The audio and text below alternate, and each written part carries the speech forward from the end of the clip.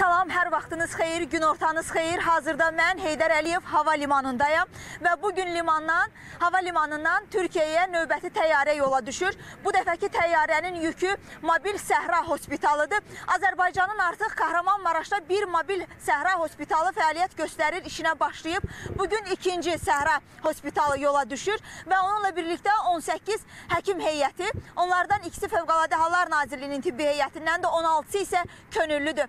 Həkimlər həm pandemiya vaxtı, həm 44 günlük vətən müharibəsi günlərində, həm də bu gün Türkiyənin o qara günlərində ağ xalatları ilə hadisə yerinə gedirlər. İnsanlara kömək etmək üçün əlindən gələn edirlər. Bu gün onlardan biri ilə həm söhbət olacağıq.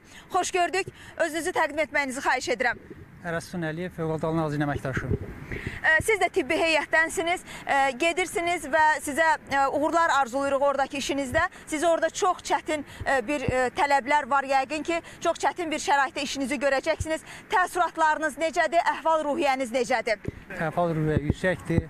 Bilirsiniz ki, Azərbaycan Respublikası Prezidentinin tapşırığına uyğun olaraq Türkiyə Respublikasında baş vermiş güclü zəlzələnin fəsadların aradan qalması məqsədi ilə humanitar yardımlar davam, davam edir. Fövqəladə Nazirliyi tərəfindən 41 nəfərlik heyətlə bir mobil hospitalımız hal-hazırda Kahramanmaraşda fəaliyyətini davam etdirir. Bu gün ikinci mobil səhra hospitalımız 18 nəfərlik peşəkar tibb heyəti ilə ora göndərilir.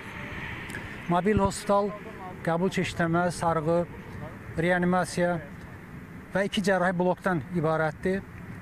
Mobil səhra hospitalında çalışan tibb heyəti həm müharibə 2-ci Qarabağ savaşı zamanı hava hərbi səhra şəraitində fəaliyyət göstərmiş peşəkar cərrahlar, travmatoloqlar, reanimatoloqlar, tarakal cərrahlar, uşaq cərrahlarıdır. E, mobil hospitalın ən ağır əməliyyatların həyata keçirilməsi üçün tam şərait yaradılıb. Mobil hospital bütün e, tibbi ləvazimatlarla, dərman preparatı, sarı materiallarla, e, reaktivlərlə tam təmin olunmuşdur.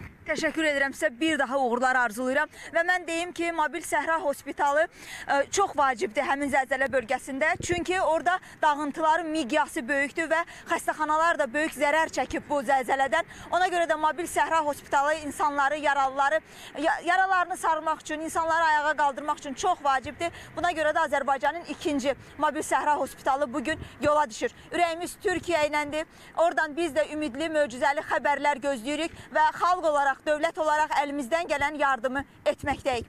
Hələlik bizdən bu qədər.